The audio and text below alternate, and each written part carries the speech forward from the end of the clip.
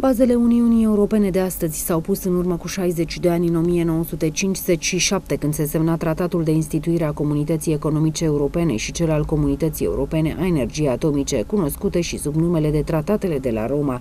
Țările fondatoare erau Belgia, Franța, Germania, Italia, Luxemburg și țările de jos, demersul lor fiind unul pe termen nelimitat.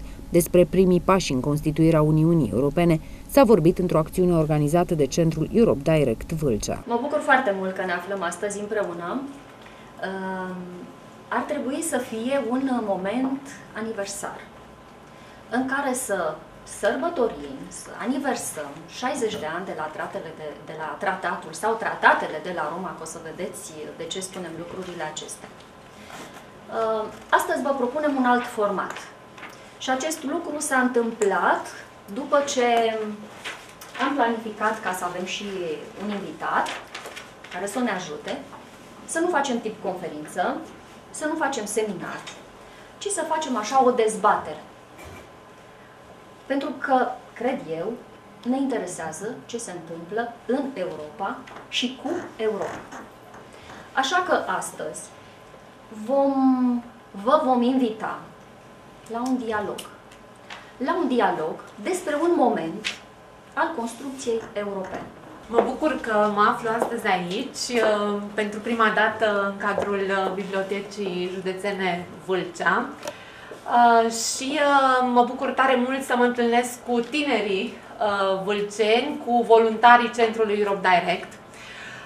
Eu aș vrea să vă propun în felul următor, ca activitatea să o facem împreună pe echipe, eu nu uh, îmi propun să am o abordare unidirecțională, adică să vină de la mine către voi informația, ce aștept mai întâi să culeg de la voi, uh, să facem un fel de brainstorming și apoi să discutăm uh, împreună. Pentru a avea mai multe rezultate, voluntarii au fost grupați câte șase pentru a se consulta cu privire la avantajele pe care le-a adus intrarea în Uniunea Europeană.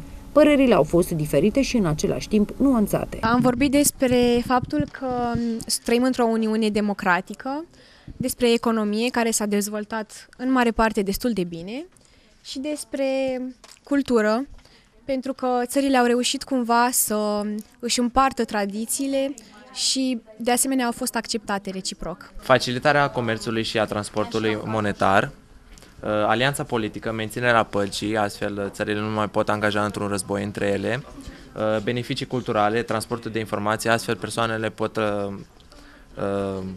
pot merge în alte țări și să facă schimb de informații, pot afla mai multe lucruri despre cultura acelei țări și pot aduce în țara lor natală acele informații noi și până acum asta am scris. Am spus că a ajutat foarte mult pacea de după război, practic să-l încheie.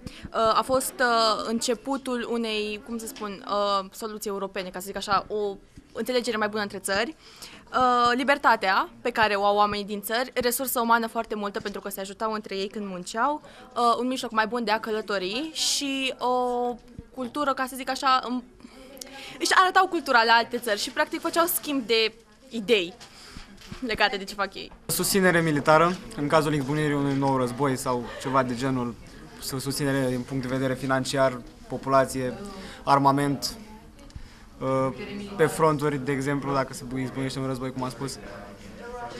Uh, liber, libera circulație a persoanelor dintr-un punct în altul, de exemplu, până în 2000 noi trebuia să obținem viză de la ambasadă ca să putem circula în alte țări. Uh, comerț liber, marfă, schimb de, schimb de materiale, etc. Tot la fel, rambursuri și toate prostiile erau mult mai scumpe cu mult timp înainte. Uh, creșterea puterii economice, susținere din punct de vedere financiar. Fiind o zi de sărbătoare pentru Uniunea Europeană, s-a vorbit doar despre avantajele pe care le presupune apartenența la o structură din care fac parte 28 de state, nu și despre lucrurile complicate pe care le-a generat aceasta.